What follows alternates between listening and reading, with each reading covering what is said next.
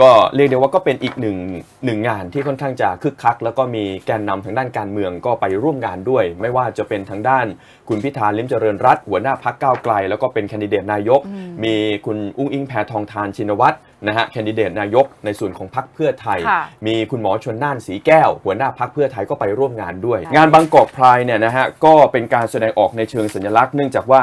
พรายมันเนี่ยก็เป็นการเอ่อแสดงออกในเชิงสัญลักษณ์เกี่ยวกับสิทธิและความเท่าเทียมกันสำหรับกลุ่มที่มีความหลากหลายทางเพศค่ะกลุ่ม LGBTQ+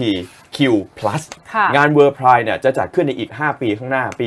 2028 ถ้าเรามีความพร้อมแบบนี้เราจะเสนอตัวเป็นเจ้าภาพนะฮะคืออนาคตเนี่ยเรื่องแบบนี้เราไม่ต้องพูดกันละค่ะอคือความแตกต่างทางด้านทางเพศจะไม่เป็นอุปสรรคในการเข้าถึงสิทธิประโยชน์ทางด้านต่างๆ แล้วก็เขาหวังว่าในปี